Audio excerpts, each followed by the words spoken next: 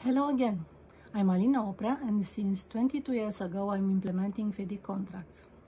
Today I will tell you about the number of clauses of FIDIC Red Book and FIDIC Yellow Book 99 edition that are the most used nowadays in, uh, in the world. The ones of you that are experienced in these contracts know that there are 20 clauses 20 clauses in the red book, 20 clauses in the yellow book. But you know why there are 20 clauses in each of the book, not less, not more, not more?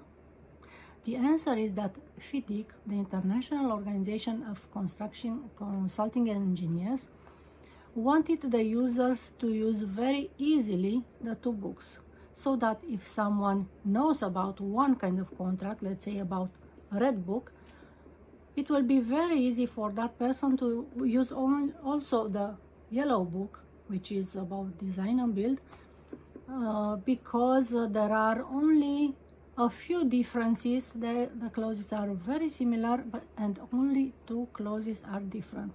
These clauses are number 5 and the clause number 12 the clause number 5 refers to design by the contractor in the FIDIC yellow book and the clause number 5 in a red book refers to nominated subcontractors. I will let you find what is the difference between clause, clause 12 in the two books. So this, has, this is uh, for today about the number of clauses and why they are similar and which are the differences between the uh, two books FIDIC 99.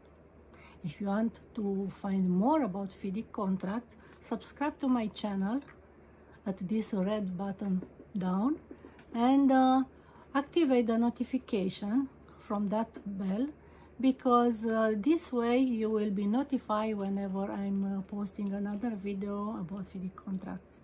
See you soon!